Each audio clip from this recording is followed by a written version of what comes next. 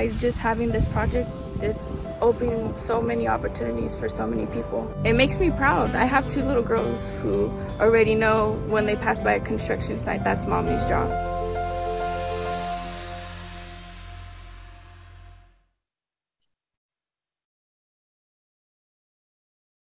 Let's hear it for California High Speed Rail.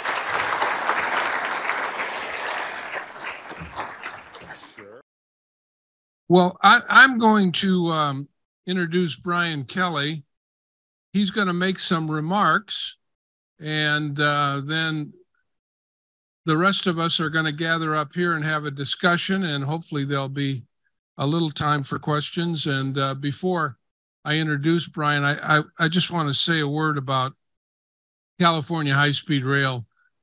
In 2009, when President Obama came into office and uh, with Vice President Biden, they had a vision for high speed rail. And part of that vision was to put $8 billion into the economic stimulus bill. And for the first time in America, we had 8 billion times more money than we've ever had before. And when people would say to me, why is Europe and Asia so far ahead of the United States in rail? The, the very quick, easy answer is, is because our national government has never made the investment in rail the way that the national government in Europe and China and Japan and other countries in Asia have done. And so for us, it was a bonanza of riches $8 billion. What we needed were good partners. And we found one very good partner in Governor Jerry Brown, who shared President Obama's and Vice President Biden's vision for rail. They stepped up immediately.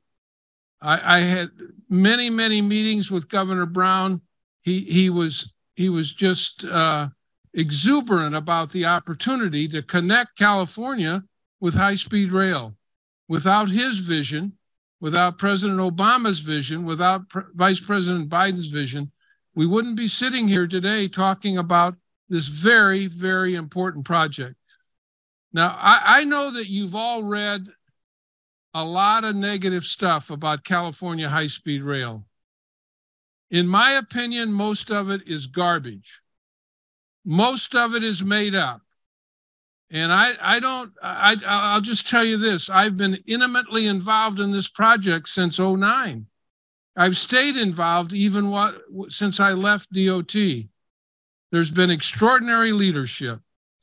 And uh, Brian is going to tell you all about it. He and his team can answer any questions you have and disabuse you of any problems that you think exist. The only problem is they need money. That's what they need. And uh, one of the reasons that we gathered all of you here today and have given them enough time to explain what's going on is so that you can leave with the facts about how important this project is, what it means to California, but what it means to the country in our ability to connect the country with high speed rail. Brian Kelly, come up and do your thing.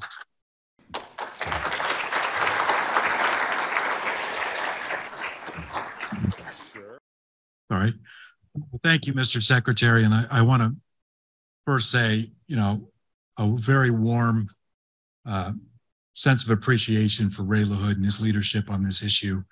Um, there's no no doubt that our project has had its challenges as we first started some years ago, and we had a uh, a very important step with a federal partner led by the then secretary, and uh, and it's just been tremendous. And his re-engagement and involvement and full-throated support of all we're trying to do through this association is so appreciated and so necessary for us to keep the work uh, going. Not just a key voice in getting the infrastructure law passed, which is now in front of us, and now we're all trying to take advantage to, of that act uh, to keep our work going. And I'm going to walk through what our work looks like in just a minute.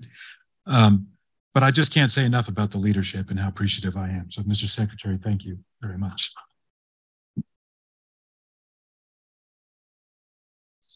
Now, with that, I am here to disabuse you. of, uh, no. Uh, I'm actually here to give you a bit of a presentation about what our project is about now. And, you know, the secretary is right. There's been a lot written about the project, and I like to be candid. It got off to a very tough start. Uh, I came on the project in 2018. The first construction packages moved in 2013, 14, 15. In that, that timeline, they were first executed. And candidly, they got into construction before they were ready to get into construction.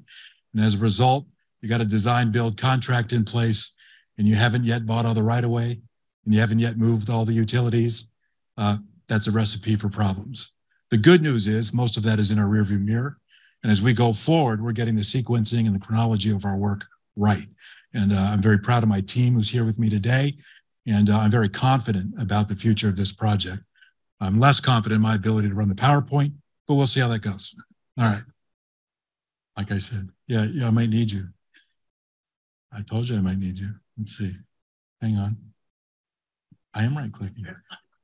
Anybody? Somebody?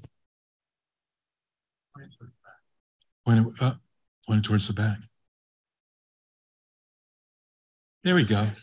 I think we're going to start with a brief video. Which one am I clicking? There we go. This is a, a structure that we just completed called the Cedar Viaduct. As you can see, it goes over Highway 99, which is one of our, uh, whoops, whoa, that's one of our main uh, freeways through the Central Valley. The Cedar Viaduct is uh, the most recent uh, structure that we uh, just completed. Uh, that is a pergola. freight rail goes underneath, high speed rail over the top. Not sure why we're getting the imagery in the middle there, but um, these are just shots of various elements. We have 119 miles under construction right now in the, the Central Valley and I'm about to kill this video because of the the problems here. But anyway, that's uh, our Hanford Viaduct, a future site of what we call the Tulare King Station that will uh, be there. That is a structure that goes into downtown Fresno, known as the San Joaquin uh, Viaduct, uh, completed last year by uh, Tutor Perini. I think as we get to the end of this video, I can get into the presentation here. I think. Here we go. Okay. So I'm going to talk about the project in three distinct uh, phases.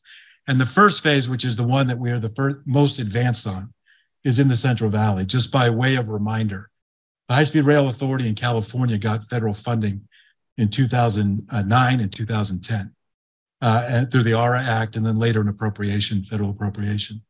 And it was to start construction right here in the Central Valley, that yellow segment from Merced to Bakersfield. Now, when we first got the funding, the northernmost point was that town, Madera, which you see the second dot from the top on the yellow stretch. And it stopped about 18 miles north of Bakersfield at a place called Poplar Avenue, which is literally an orchard. Nobody's taking a train to an orchard. So when Gavin Newsom became the governor in 2019, uh, when he gave his State of the State speech, he said, you know, we got to get something more out of this project in the Valley. And part of that meant we got to get what we would say out of the orchards and into the cities. And so his proposal was to extend in the north to the town of Merced, city of Merced, which now is home to UC Merced, is growing in population, is becoming a housing mecca for people who live in the Bay Area, where housing costs are outrageous. Housing costs a little bit better in Merced, and they got to get over the hill every day, which is part of our next phase. Uh, and then in the south, we added 18 miles to Bakersfield. So now we have a 171 mile segment, really connecting Merced, Fresno, and Bakersfield as the first segment of for the first segment of which is all of the San Francisco to Anaheim high speed rail segment. In California, we refer to this as phase one, San Francisco to Anaheim. It's roughly a 500 mile stretch. It's what the voters of California approved back in 2008. And they largely approved this alignment. And what we've been doing since that time is getting the environmental documents completed. The entirety of this alignment is about 494 miles. And at the end of 2023, 20, uh, we will have environmentally cleared 465 of those miles. So from San Francisco all the way to downtown Los Angeles. Our last stretch will be the LA to Anaheim stretch, and then we'll finish that environmental document uh, in 2025. But downtown San Francisco to downtown LA cleared. In the Central Valley, 171 miles are all environmentally cleared. 119 miles, as I said, are under construction. The remaining 52 miles are in advanced design right now. We've completed that enviro and we're now getting to 30% design for both extensions. Um, we are in design now of the four Central Valley stations, Merced, Fresno, Kings, Kings Tulare, and Bakersfield, as you can see here. And we're getting ready for two major procurements. One is track, track and systems to lay the track on that 119 mile stretch, and the beginning of train procurements, which uh, we're looking forward to getting to. Believe me, I've, I've been on this project for five years, and there's nothing I want to talk about more than trains and stations and less about construction challenges. So I'm looking forward uh, to moving on with this, uh, this project. Uh, I'm still struggling. Okay. Uh, the project has obviously had great economic boom in a part of the state that had been disadvantaged for a long, long time. For most of my lifetime, anyway, the Central Valley has been sort of a single focus economy on agriculture. High speed rail proposes to change that, bringing industry from around the state into the Central Valley. And of course, providing new opportunity for employment in the Central Valley. We've created 10,000 construction jobs since the beginning of construction. We have about 1,100 construction workers on the sites every day. 70% of those workers are from the disadvantaged communities. And we have 30 plus active construction sites on any given day. We have a pre apprenticeship training center in a little town called Selma in the Central Valley, focused on at risk folks, some people coming out of incarceration, other folks who are um, uh, stuck in some tough economic uh, conditions. And we have an opportunity to give them some training and get into the construction trades. And we have 10 trades that teach at each of those co- cohorts. The other thing we're very proud of is the small business participation on the project 763 small businesses, 237 are DBE or disadvantaged business enterprises, and 90 are disabled uh, veteran business enterprises. So the economic impact is obviously one of the great strengths of this program, and it really happened in a part of the state that needed it the most. I will say that when the federal government gave us money in 2008 and 9, uh, one of the questions was, where should we start? And California submitted four different applications to start in different parts of the state. But the federal government was clear. They wanted us to start in the most disadvantaged community. And that is why we started in the Central Valley. The second segment outside of the valley is the Bay Area. So remember that that segment of the valley is about 171, 172 miles. The Bay Area stretch is from Merced going west to Gilroy and then up through what we call the peninsula, Silicon Valley, San Jose, Millbrae, and into downtown San Francisco. That's 159 mile stretch. Today, it's 100% environmentally cleared. Uh, we're eligible to begin advanced design in 2022 and 2023, and I'll make a comment on that in just a minute. Um, we have corridor electrification currently underway on 51 miles through Caltrain Electrification Project. Caltrain is the commuter system that runs between San Francisco and all the way to Gilroy. They're currently electrifying the corridor between San Francisco and San Jose in the near term for their commuter service, and in the long term, a corridor that we will use as we get into the Bay Area and come up the, the peninsula. So that electrification project is underway now and will be completed in 2024. So not, not too far away. Uh, we also are working closely with San Francisco. Whoops, let me go back one. I think I'm going back one. Maybe I'm not going back one. Oh, well, that's a lot better. All right. Sorry. Killing you guys. Okay. Uh, just a couple more comments about the Bay Area. The DTX station is the station in downtown San Francisco in the heart of the financial district. Uh, ultimately, the Caltrain system, electrified and high speed rail, will go in to that station. Today, it serves uh, inter-regional bus services, but ultimately, it will serve that station a single stop to connect those bus services to both the Caltrain commuter service and ultimately high-speed rail, not traveling just in the corridor, but traveling along all of that phase one system. So we've made tremendous advancement in the Bay Area as well on the 159 miles. Southern California is our third corridor in the state. And uh, here it's the Bakersfield South stretch, the yellow at the bottom of the screen. Uh, as I mentioned, uh, much of this is environmentally cleared, this 164 mile stretch. 92 miles are environmentally cleared today, and uh, we will finish all the way into downtown Los Angeles from, from Palmdale uh, to Burbank, and we already do Burbank to LA. So all of this will be environmentally clear with the exception of the LA to Anaheim stretch in 23, and LA to Anaheim will finish in 25. Uh, we're working on advanced design now here with, in those segments that are envir- environmentally cleared. And we provided funding to LA to rebuild the LA Union Station, uh, both to help with regional uh, transit in the LA region today and ultimately to accommodate the high speed train service at that station in Los Angeles. This segment is currently unfunded in terms of construction, but we have the ability, just like we do in the Bay Area, now that we finished the environmental work, to advance the design and advance some of the engineering work and do a lot of geotechnical work on the tunneling that's necessary to get to LA from the Bakersfield and Palmdale uh, areas. So three distinct segments in the in the region. The Central Valley is the furthest along. Uh, we have applied for federal funding, a sizable amount. For this year, we applied for about uh, $3 billion in federal funds. And the bulk of it is for construction activities in the Valley.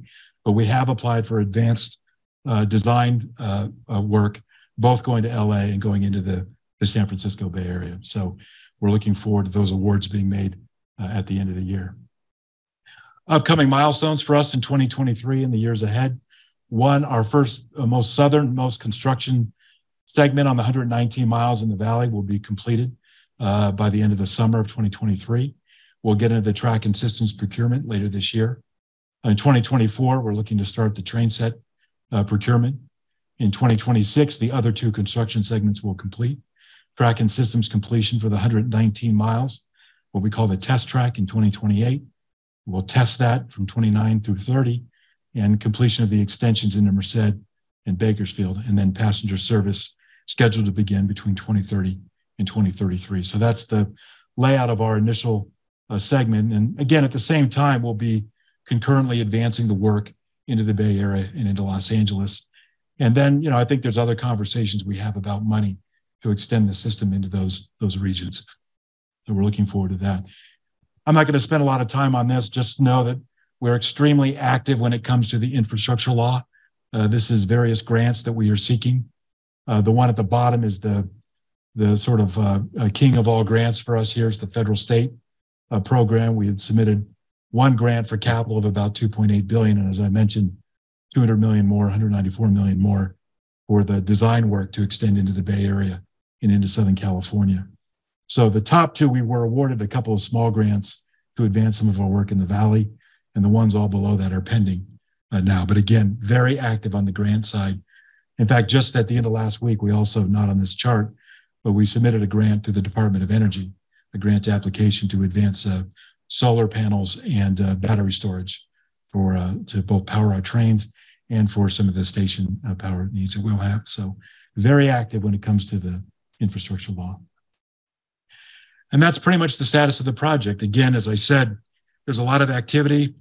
The project did get off to a tough start, but I think we're, we've done a nice job of getting that in our rearview mirror and really now turning in the focus to what's in front of us and uh, making sure that we're doing the chronology right, the sequencing of work right, and uh, being very careful as we go forward. So, you know, I'm optimistic about the future because I think the way we are approaching it uh, presents uh, less risk of delay, less risk of cost, because we're doing it much more methodical, methodical way. So, with that, I'm happy to uh, say thank you and uh, look forward to the, the Q&A. Thank you very much.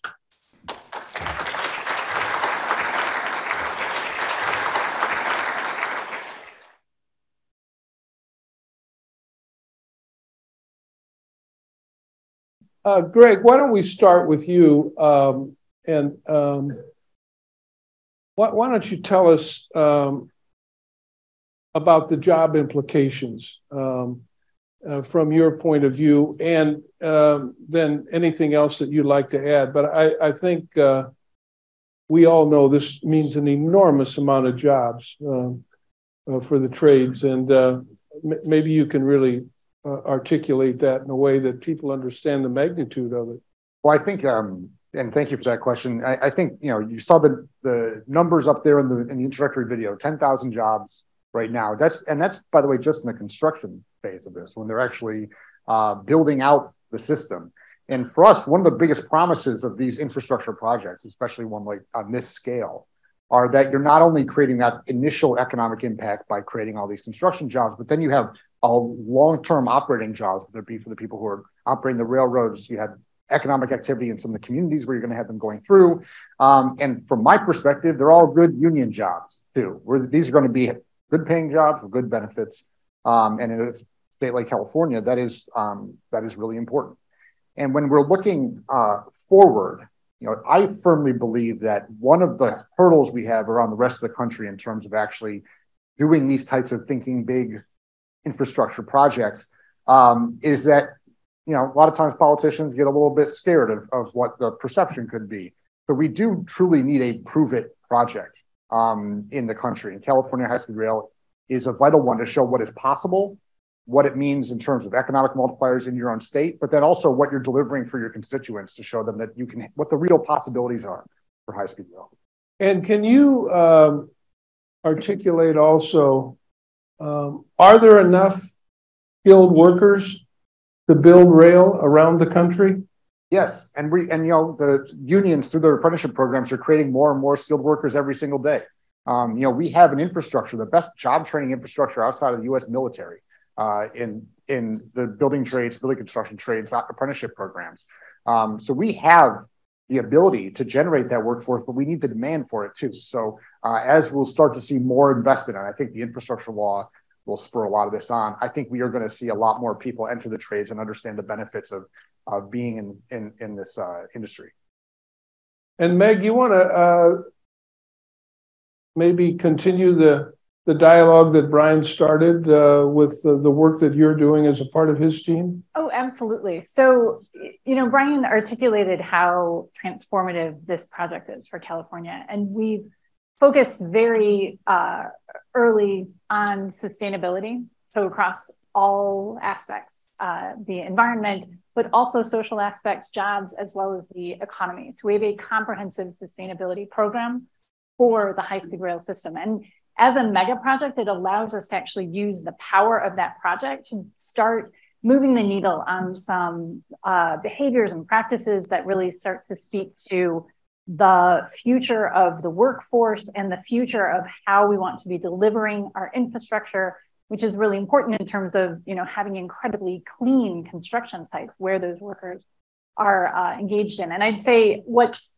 what's great about California is we have a fantastic regulatory platform to start from, but our board and our executive leadership have really set the bar very high in terms of commitments and making sure we have a zero net construction, uh, zero net construction, which no other project in the United States has or has achieved. And what we deliver behind that as well is proof of concept. We don't just make that claim ourselves, but we've provided evidence to third parties like the uh, Institute for Sustainable Infrastructure to prove that what we are talking about um, is real. And we were really proud of achieving this Envision Platinum Award. It really speaks to all of the ways that we're paying attention to sustainability on the project and have put that into practice already. And it does speak to the communities that we're connecting, as well as the jobs and the real benefit to disadvantaged communities that are happening but it also speaks to this vision of not just, you know, we want and will get the shift from automobiles and from air trips onto high speed rail. We're going to deliver that mobility service. But we also recognize that we need a service that can be reliable. And in this face of climate change, with what we're seeing relative to heat waves and fires, and this year, rain and floods and epic, epic uh, snowfall, we recognize that when you're running electrified high speed rail, we need to make sure that the electricity is reliable. So, as Brian mentioned, we've um, put in a grant application this week for funding for a solar photovoltaic and battery energy storage system. And that really allows us to operate the trains unlimited in summer on these uh, on solar and batteries. And that's tremendous. We want people to rely on the service. We want people to get um, to get home in case PG&E turns off the grid. But we also recognize that for us, it helps us reduce our operating costs overall. This is a 72% reduction in our annual electricity costs by looking at batteries and solar together. So this really I'm giving you a you know a couple high level elements of our sustainability program, but they are a hallmark to what we're achieving and focused on in California. Brian, uh, can you tell us about the the uh, structure that exists uh, within your organization so that people have an understanding that you have a board? Obviously, you, you know the governor sets the vision, and you you're appointed by the governor. But tell us about how um, uh, your, your, board works and uh, how they're appointed and what role they play in all of these decisions you've been making. Sure. Um, it's evolved a little bit with time, but um, I've got a, a, a, total of 11 members on my board. Uh, two of them are ex officio. They're generally the, the policy chairs in the legislature who serve as non voting members on our board. And then we have nine voting members. Five of them are appointed by the governor, and four of them are appointed by two each uh, by the leader of each of the respective houses in the legislature. So the assembly speaker appoints two, the Senate leader appoints two, and the governor appoints five. And the board really does set our policy agenda. I mean, at the staff level, we work to implement that policy agenda. Uh, we provide the board with recommendations and options to move the project and the mission forward. Our board meets about once a month to, to take up various elements of, of running the, uh, the operation and advancing the program.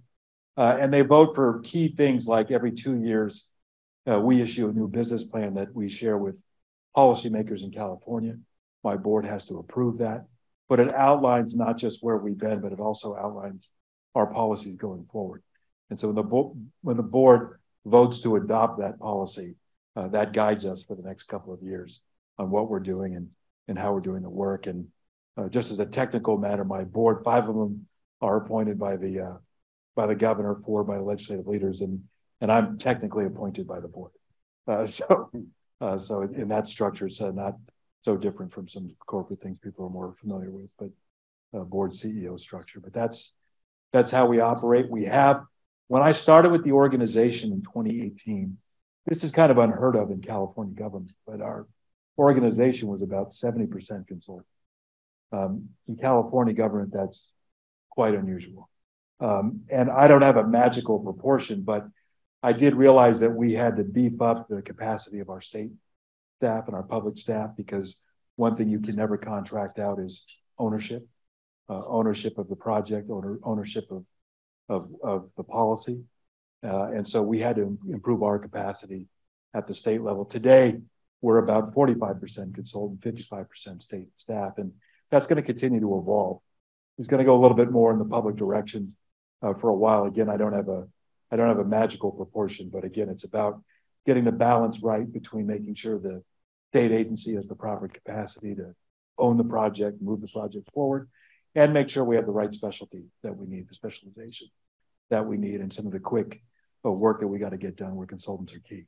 So we'll always have some of each, uh, but we've had to evolve that project. Brian, also talk about the uh, uh, the decision making by the legislature and their involvement. Uh, uh, I know when Governor Brown was there, he persuaded them to, to, to put some money into this project. And I know that since Governor Newsom has been governor, he also persuaded them, along with uh, a lot of the citizens that, that got behind. Uh, but I think it's important for this group to know that this is not a project completely, totally funded by the federal government. You've got a lot of skin in the game. California taxpayers have a lot of skin in the game. And just talk about that uh, so people understand uh, what that means. Yeah, no, I appreciate the question. We, you know, we have a very active legislature, and we should on this project because uh, our project is funded 85% today. Our budget is funded 85%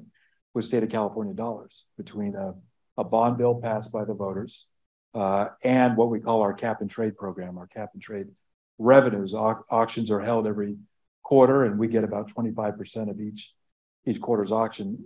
Fortunately, in the last year or so, that's been about a billion dollars a year to this project. So it's a it's an important revenue source. Now in California, that revenue source expires in 2030 as we're sitting here today. So we have work to do. We have to extend that, or we got to find other sources of state money but look, I think everybody in this room knows no mega project of this magnitude uh, succeeds without a strong federal partner. Uh, it's true for the interstate highway system. It's true for uh, major airport improvements. It's, it's, true for all kinds of mega projects. And 8515 is, you know, in favor of the state. is not the usual recipe for advancing a project of this magnitude. So again, it speaks to the importance of the passage of the infrastructure bill, the opportunity that it presents. And we're being very candid. I just got up, came back from Capitol Hill uh, this morning. We're being quite candid. Like, this is the year. We have to have the demonstration of the federal partnership, and we have to have it in 2023.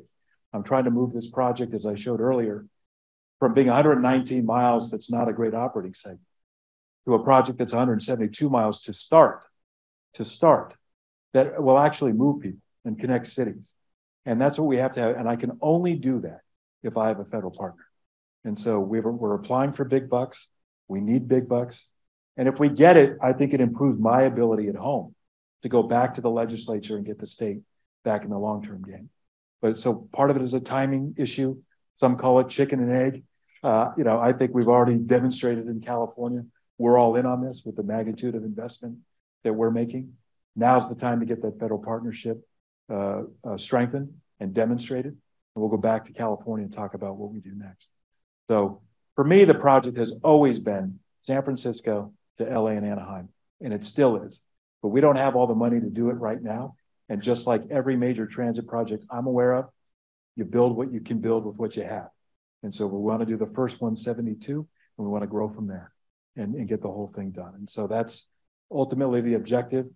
Uh, I had a meeting earlier today on the Hill and somebody asked me, you know, how many riders will you have from San Francisco uh, to LA and Anaheim? And even in the post COVID era where transit and rail passenger ridership has been hit a little bit, you know, we, we expect to have 32 million riders between LA and San Francisco. That's substantial. And uh, I think it's conservative. And so uh, it's really important that we're able to move this forward and the opportunity is now. And again, getting back to your original question, you know, the legislature in California, most of them want to see the full project done. You know, in California, this thing passed with a vote of the people in 2008. That vote was about 53% for, 47% against. Last year, a poll was done on do you still support high speed rail in California? 56% in support, 35% against. So, in my view, we're making progress. anyway. Let, us throw it open to questions. Uh, and uh, anybody? Um, yes, sir, down here, front row. Start out by saying there's a lot of negative attention.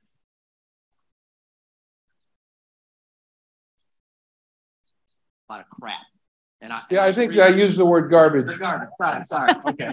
I, will pay better. Similar, synonymous term. But what what my question is is what can all of us do?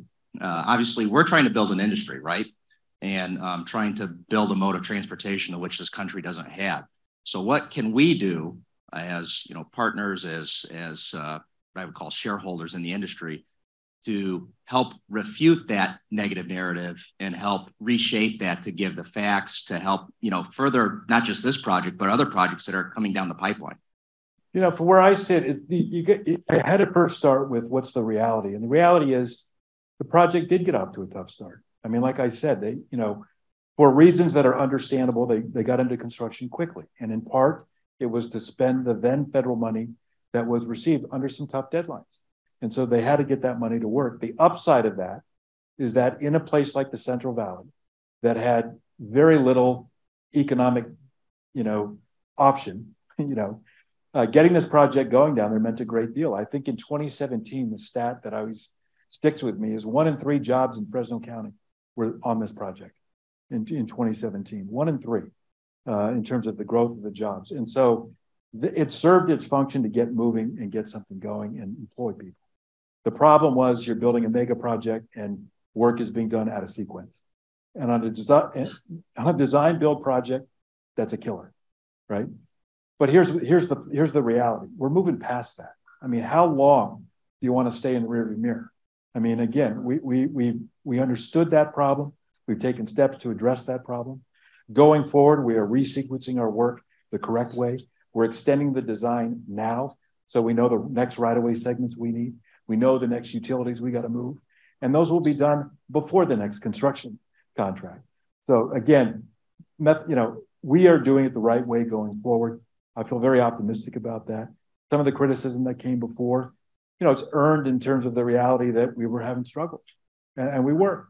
But again, you move past it, you acknowledge it, you make organizational changes, and you and you roll through it. And so, and but everybody in this, no, this is a huge project, 500 miles from San Francisco to LA, through seismic zones, through coastal areas, through the valley, through the mountains. Guess what? There's going to be challenges. We are going to have challenges. But I always feel like I, I came to this from a political background. I spent 18 years working in the state senate and the legislature. And one of the big projects we worked on before, because most of my members were from the Bay Area, you know, we re- rebuilt the San Francisco Oakland Bay Bridge. That was another big project with all kinds of challenges and all kinds of problems. But you know, the Bay Area today, people look at that structure and they go, "How do we ever live without it?" And that's the safest dam bridge in California. So it's you know, you go through the struggles at the time, but now it's about we're emerging from that. We're coming out of that. The future is brighter. And the biggest thing that everybody in this room can do right now is get on the federal folks about these grants. We got to have the grants. We got to have a federal partnership back in place. And with it, we will succeed. But we got to have it. We Remember this it took 50 years to build the interstate system. 50 years. And there were governors back then. If you look at the history of the interstate, there were governors, particularly in the western states. We are not having a road built through our state. We're just not. But then, as the citizens saw what was going on and how the country was being connected, boom, that was it. And uh, in the end, I do think uh, the California Assembly has really stepped up in an enormous way in response to the citizens. And that's why it's so important for all of you in this room uh, to, to hear what's going on, to get the facts, and to be a part of the, the team that's going to build this. The gentleman here had his hand up, and then we'll, we'll keep going towards the back there. The gentleman right here, ma'am. Yes. Thank you very much. Um, you've got the unenviable position of being approved project for the US high speed rail. Um, there's a lot of people in this area are involved in sort of new high speed rail projects. I was just wondering, for those new projects, what are the key lessons learned out from your experience How much time do we have? Simple enough success.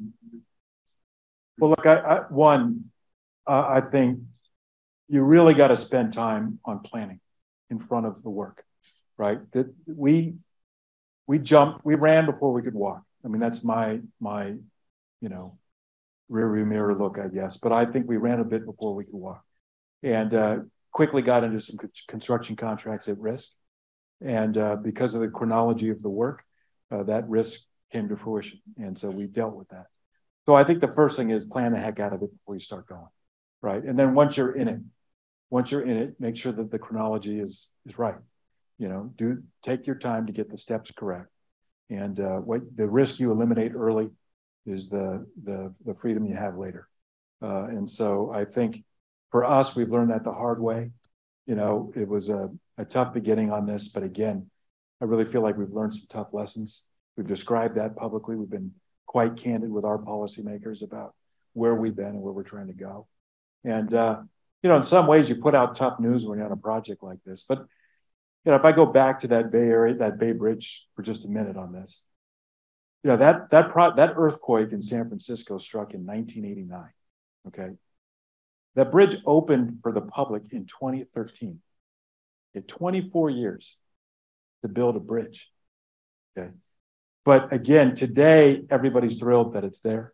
Uh, and during that process, during that difficult mega project, one of the lessons that I took from it, I was in the legislature then working for Bay Area members, and then later I was the Secretary of Transportation in California under the Brown administration.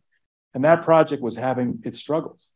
But one of the lessons I learned on that was I think we give the public too little credit. I, I think most people at home know that a huge infrastructure project is going to have challenges. Our job is to tell them what those are and what we're going to do about them. And that's the lesson I took from the Bay Bridge. And it's the lesson that I bring here. And I think anybody who's ever remodeled a home or a bedroom or a bathroom, they know. And so, uh, you know, times that by a thousand and, and you know you're going to have challenges. But I think it's important that we're clear on what we're intending to do, what challenges we have, and uh, what opportunities we have. And so that I, I also think that a real advantage that California had is it was tested by the people.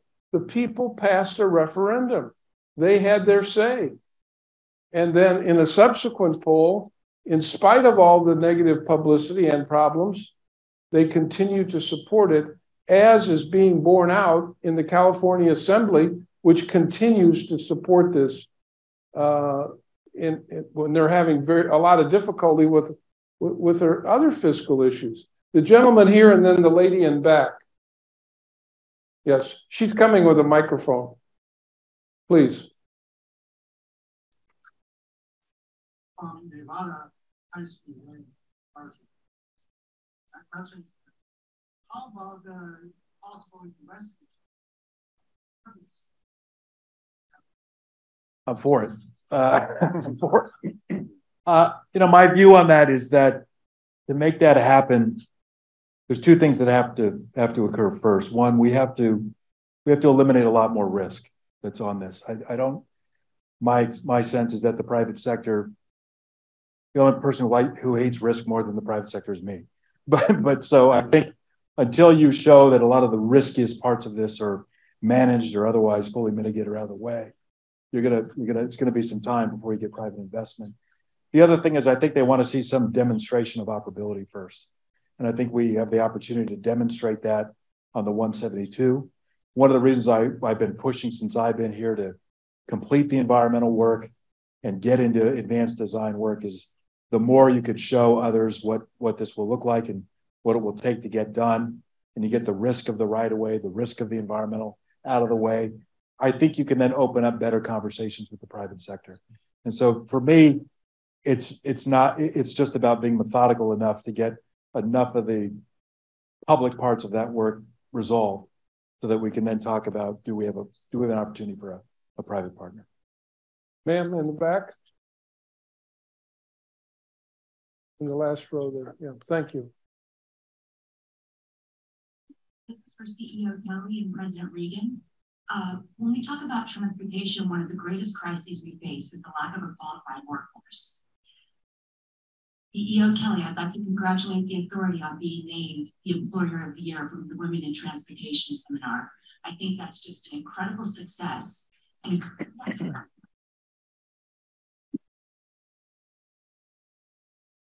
Bureau of Labor and Statistics indicates that less than 70% of the current workforce in rail are women. Yet over half of your staff and the majority of your executive team are women. What do you attribute that success to and what are the best practices? And then I'd love for you to answer that too, Trustee Regan. Well, for me, it's it's a bit selfish, right? I want I want to expand the net as wide as I can to get the best talent, and, and so that's what that's been our approach. And uh, you know, I've been able to get people like Meg Cederoth to come and and uh, and take over our planning sustainability work. And across the board on the executive team, I've just got I think, uh, the best talent in the state of California uh, working for us. And and you know whether it's gender or other lines, I think that the the the issue of you know diversity and and casting that net wide to get the best talent is is is in our interest and it's a self-interest is to make sure that the organization is as strong as it can possibly be so that's been the philosophy of of what we're trying to do and it's been nice and rewarding to be recognized uh, but I think it's important. And I, I also just come at, as I said, I used to work in the legislature back in the early 90s. And part of my job there was when folks were appointed to head agencies, mostly in transportation, you know, back then they all looked just like me. Right. And that in a state like California, you know, that's just not not not wide enough, that net. And so that's mostly what we've been after, what we've been trying to do. And it's paid off because we've gotten really good talent at, at the authority. Yeah, and I think um, when you when you look at how do we diversify certain aspects of the transportation workforce, um, be it under gender, racial lines, whatever it may be, uh, you know, someone a friend of mine who works in one of the building trades unions told me once that uh, apprenticeship programs are an incredible tool for diversifying and bringing more people into the workforce, but only if you make it a priority. So there are some that are really good at it. There are some that you know make sure that this is our goal here is to not only get more people trained and and into the into the industry, but also that we're going to proactively reach out to people from different backgrounds so that people understand the benefits of uh, joining our industry. And I think that comes from leadership. It's leadership from both the union side and from the employer side um, about proactively advertising what is so great about working there. Um, and conversely, when you look at a number of industries in transportation, whether it be uh, you know the freight rail industry right now, whether it be public transit, um, when what most people see are the bad things, you know, the assaults on bus drivers, uh, the the really nasty uh, bargaining fight that happened last year on freight rail. When that is the advertising for your industry, you're going to have a really hard time getting people to come work in it. Uh, so a lot of that comes from again leadership. It comes from better management on the corporate side. In the public sector, it means making sure that you're embracing policies that are going to make the workplaces safer, more welcoming, more conducive to uh, not only recruitment but retention in whatever the industry is. Uh, other questions? Here, here's a question here from uh, from Andy. Before uh, the mic gets up here, is Dan Richards still in the room? Dan, stand up. Dan was the original chair under Governor Brown. Uh, thank you for all your good work.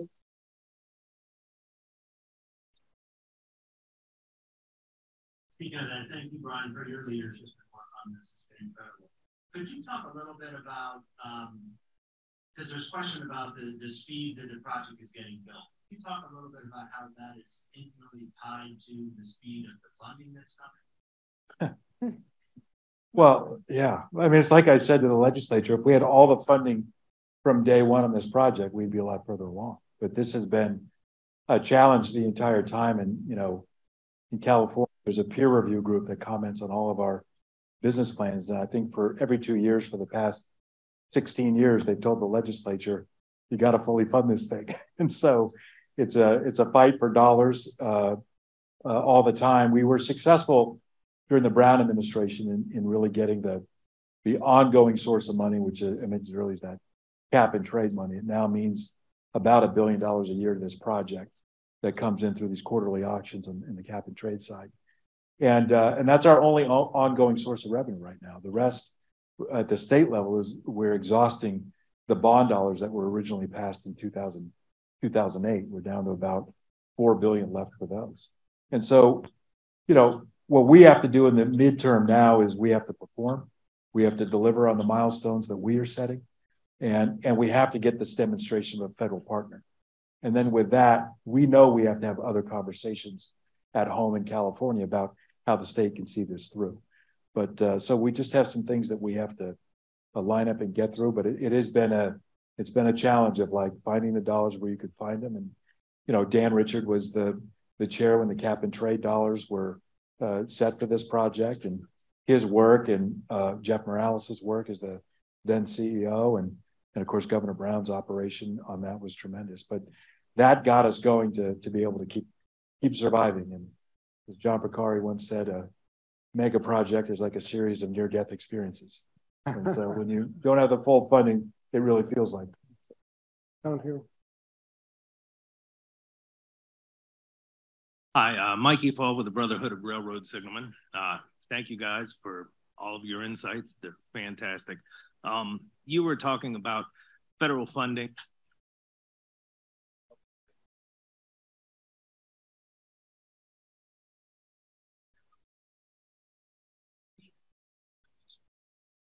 High Speed Rail Labor Coalition. It's all of the rail unions together in a coalition form. We would love to talk to you guys. I know it's going to be way in the future, but you're going to have to have a good workforce when the construction is built. And uh, each one of these unions have come together. We are the field subject matter experts in each of our crafts. So uh, this is more a comment.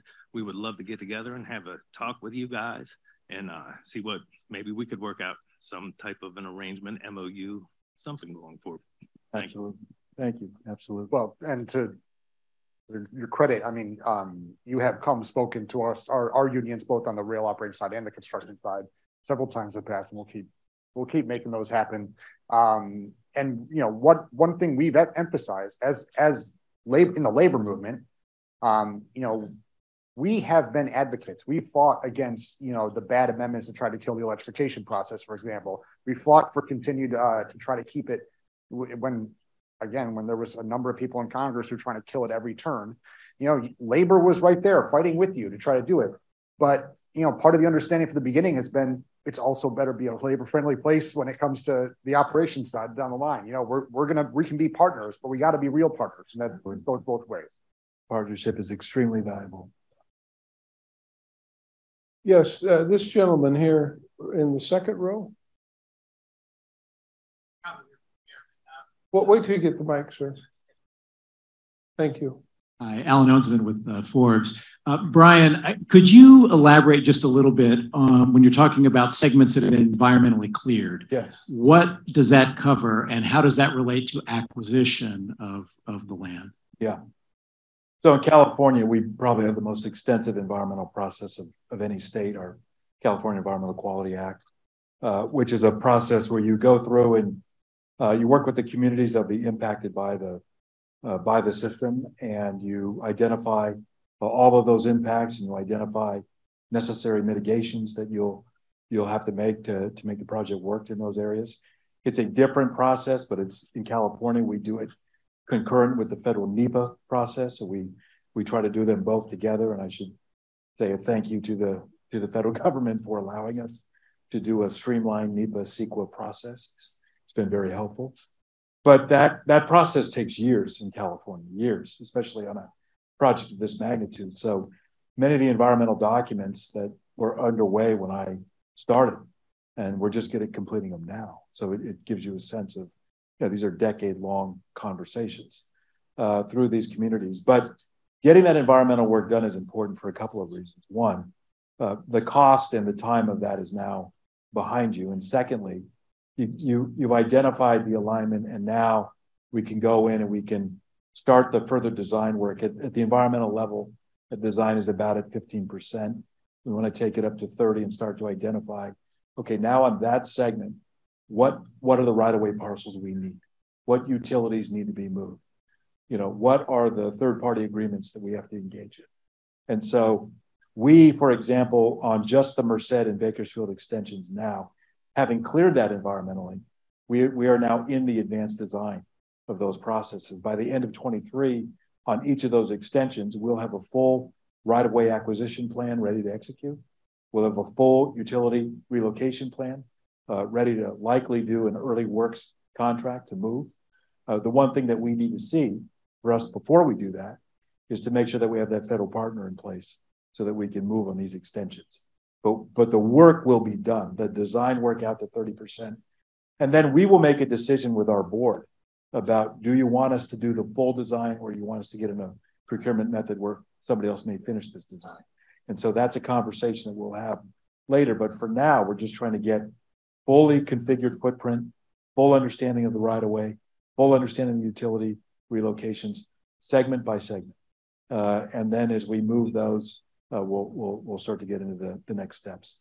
So we, we call it the stage delivery process, if you will, or used to be called stage gate process, where, you know, just go through these stages in a very disciplined and methodical way. And that's what we're incorporating. Yes, sir. Here, right in the front. Hey, um, Thanks for the panel. It's very interesting. There was a couple lines in the uh, the last status report talking about municipal financing or possibly tapping into that. Can you talk about that a little bit? Yeah. well, because I, I, I, I don't know. I mean, we're not. I'm not yet tapping into any municipal bonds on this project, other than the bonds that the state of California has approved. Uh, and for now, until we figure out what's next on on our state contributions going forward or how we'll apply federal funds. You know, I'm not sure. I think what I would say is this: what's important for us to to as we get into the more the, next steps of this project, one of the reasons that we have to we have to get the state funding to go beyond this 2030 date. You know, a lot of reasons. But one key one is we also want to take advantage of very favorable federal financing options, RRIF loans, TIFIA loans things like that. And we're going to need a revenue source for us to do that. And so um, that's going to be really important for us as we go forward. But I don't I don't have a particular municipal plan. Yes, sir. The gentleman here, this will be the last question. Uh, yeah, thank you.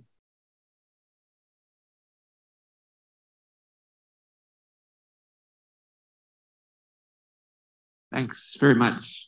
So California is obviously a, a, leader, not just in implementing high-speed rail in the U.S., but in learning how to implement it. And if, if I understood you right, it was about a 10-year learning curve to really get to the more effective stage where you knew how to do it. My question is, do you think that other states are going to have to start at the base of that learning curve? Or do you think they can start at 50, 70, 90% of what you've learned? And can you think of any ways to help them get above zero when it's their you turn? Know, we're a proud case study. no, I, I mean, look, I, I, it's not that complicated in terms of, of the, the challenges that, that this project was, was presented with. And as I said, I think you know, again in California, we went to the bonds. We had a bond and went to the voters right away and said, you know, you guys want to do this? The voters said yes. We are off and running. But uh, I, I, think there's a great value in in really getting the, the planning uh, further along before you're into the full funding and financing part. Um, I think, uh, I, as I, I, mentioned before, I just think some of the early uh, challenges with the chronology of events, you know, which we can do differently. I think everybody does. Uh, I think it's better not to have strict expenditure requirements on federal funds because hmm. they can provide a, the wrong incentive. Uh, and so I, I, hope that doesn't continue going forward. So, you know, I, you know, in some ways we are a bit of a case study, and and I think, you know, we have to. I, I don't mind being that for others. We've learned from it. Others should learn from it. But I think because we started, I think uh, every state uh, will be in a better position because of what we learned if I'm if I may say, you know, that's an example. Of, I, I sure hope other states can learn from that. I sure hope that you know we don't lose we don't uh, you know forget all of the the heart you know the hurdles that were put in place along the way. Um, but I also think it, it shows why strong federal leadership is so important for these types of projects. I, and we see it in again in a whole bunch of other agencies where when you have strong federal participation where they are being not only a source of money but also a source of leadership about how to you know help people along on projects that could be true in transit projects be true in high speed rail uh, airport construction you name it. When you have an active knowledgeable uh, federal government that is a resource not strictly a you know a uh, you know regulatory hurdle or a check signer when you have that resource that that, that leadership there i think it can really prove immensely valuable. Um, and it's something we've been trying to focus with this DOT on is as you start to see money go out the door from this infrastructure investment and jobs act, we start seeing all that money go out the door, we can help you and, and you should, along with the, the, the recipients of this grant money, identify those really great actors, the ones who are doing it the right way, that are creating the right amount of jobs, you know, training enough people, doing it in the greenest way possible. Identify those case studies as the best actors and then advertise that to the rest of the country and make sure that you are providing that sort of examples of what good leadership is.